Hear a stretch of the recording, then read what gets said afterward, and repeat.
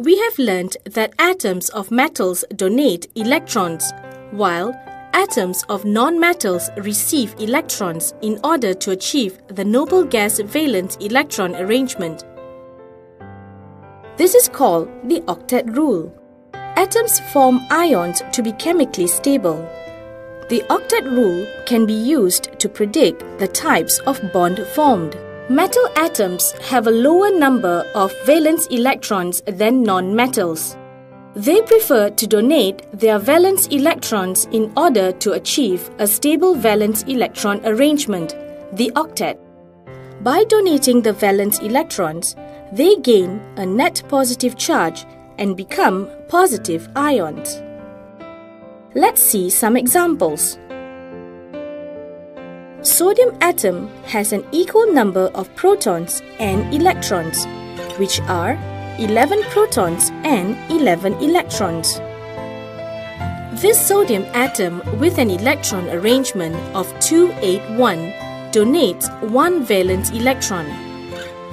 By donating one valence electron, it achieves an octet with a stable electron arrangement of 2-8.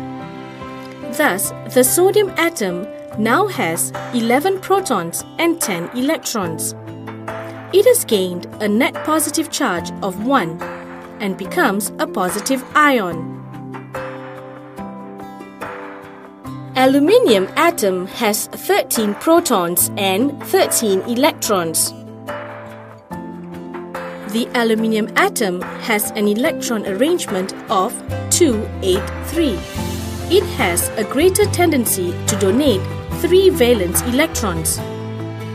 By donating these 3 valence electrons, it achieves a stable electron arrangement of 2-8. Thus, the aluminium atom now has 13 protons and 10 electrons.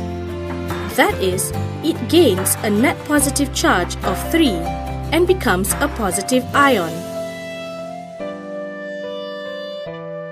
Non-metal atoms have larger number of valence electrons than metals.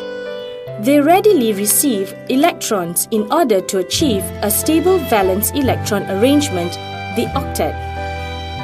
In predicting the number of charges formed, we still use the octet rule. By receiving the electrons, they gain a net negative charge and become negative ions. Let's see some examples. Chlorine atom has an equal number of protons and electrons, which are 17 protons and 17 electrons. The chlorine atom with an electron arrangement of 287 has a high tendency to receive one electron. By receiving one electron, it achieves an octet with a stable electron arrangement of 288. Thus, the chlorine atom now has 17 protons and 18 electrons. That is, it gains a net negative charge of 1 and becomes a negative ion. Oxygen atom has equal number of protons and electrons, which are 8 protons and 8 electrons.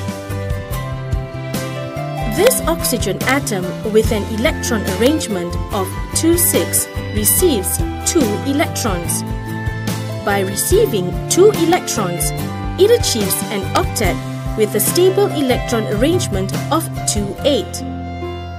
Thus, the oxygen atom now has 8 protons and 10 electrons. That is, it has gained net negative charges of 2 and becomes a negative ion.